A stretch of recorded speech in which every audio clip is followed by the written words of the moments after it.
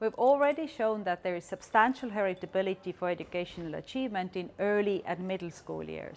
Using UK representative sample of over 7,500 twin pairs who were tested longitudinally at ages 7, 9 and 12, we've shown that the average heritability for literacy and numeracy is around 68%, meaning that over two-thirds of the individual differences in early school achievement is explained by inherited differences in children's DNA sequence.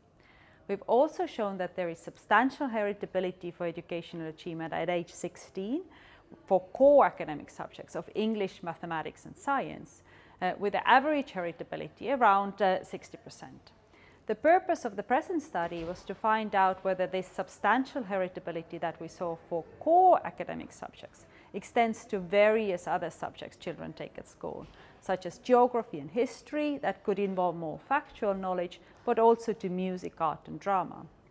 And what our results showed is that there is substantial heritability for exam results across different subjects children take at school. Interestingly, when we removed intelligence from the exam scores, the heritability still remained substantial.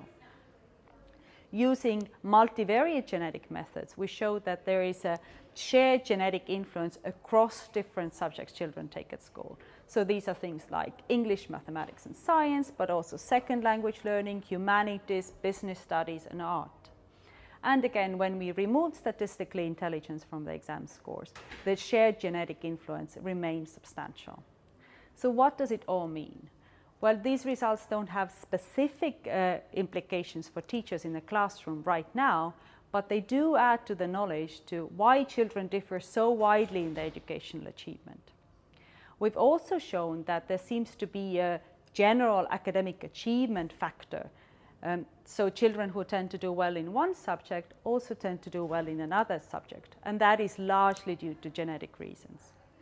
Our results also could facilitate molecular genetic research that aims to identify specific genetic factors uh, associated with achievement by focusing on the range of academic subjects rather than only English or rather than only mathematics and rather than only focusing on intelligence.